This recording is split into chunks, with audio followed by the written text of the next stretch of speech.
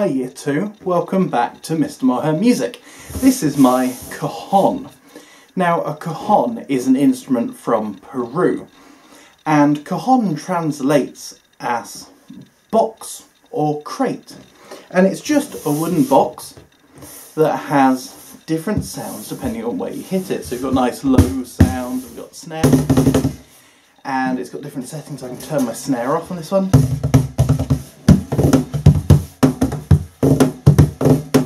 There's loads of different ways you can play it. I'll put that snare back on. I like that snare sound. Now we are going to do some table drumming today. So we're going to use a table and the floor of our feet to first off play some pieces of music and then you're going to compose me some pieces.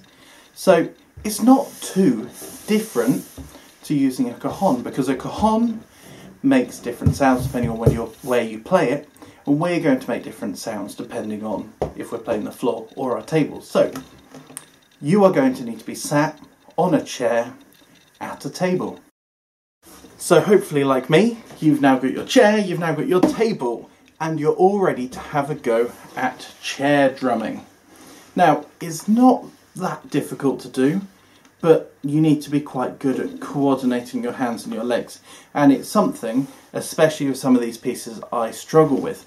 So let's look at this chart to start with.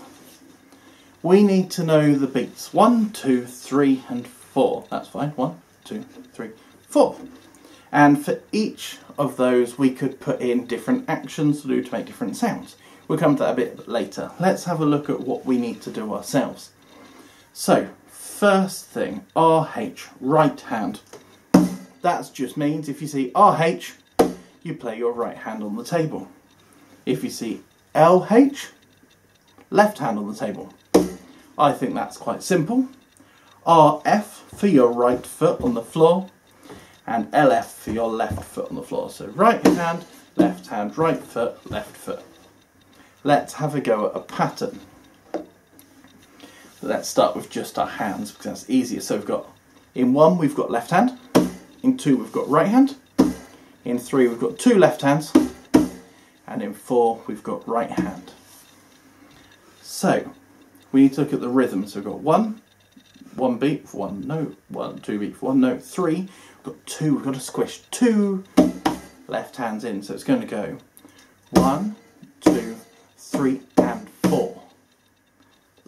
hand, right hand, left, left, right. With me, left, right, left, left, right, left, right, left, left, right, left, right, left, left. One more time. Left, right, left, left, right. Let's make it a bit harder. Let's get our feet involved. So, left hand, right hand, left foot, right foot. Are you ready for that? Here we go. Left hand, hand, left foot, right foot. Two, three, four. One, two, three, four. One, two, three. One more time, and one, two, three, four. Let's make it even harder. This one I've been practicing and it's taken a lot of practicing to get it right. So it's a challenge. You've got left hand, left hand, that's fine. Right foot, right hand, left foot. Let's go through it. So it's got two left hands, then right foot, then right hand, then left foot. I kind of think about it a little bit like an X for the three, four different points, but you might find that more difficult. So we've got left hand, left hand, right foot, right hand, left foot, left hand, left hand, right foot, right hand, left foot, left hand, left hand, right foot, right hand, left foot. Ready to try that a bit faster? One, two, three, four. One and two, three, four. One and two, three, four. One and two, three. One more time. One and two, three, four. How did you find that one? If you found it really tricky, take it back and have another go. And let's have a go at this. Now, you can see I've added an extra box underneath, which means we're going to have to do things at the same time. So in this case, right hand and right foot on big one, then left hand. Then it's going to be right hand and left foot, then left hand. So it's going to go one,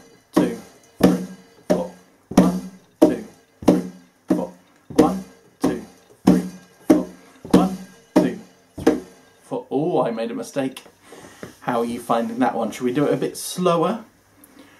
One, two, three, four. One, two, three, four. One, two, three, four. One, two, three. One more time. One, two, three, four. Who wants it a little bit faster? If you're ready to do it a bit faster, do it with me now. If you're not, maybe take the video back and have a go a bit slower. Here we go. One, two, three, four. One, two, three, four. One, two, three, four. One, two, three, four. One more time. Well done. Now, let's try even harder. So we've got right hand and left hand at the same time. And then we've got right hand, left hand. And then we've got right foot and left foot at the same time. And right hand, left hand. Maybe easier than the last pattern. Let's have a go. So we go one, two, and three, four, and one, two, and three, four, and one. Oh, it's tricky. Let's go really slow. So we've got one, two, and three, four, and one, two, and three, four, and one, two, and three, four, and one, and three, four, and. Who would like that a little bit faster? Let's have a go. One, two, and three, four, and one, two, and three, four, and one, two, and three, four, and one, two, and three, four, and one, two, and three. One more time. Very tricky, but now it's over to you.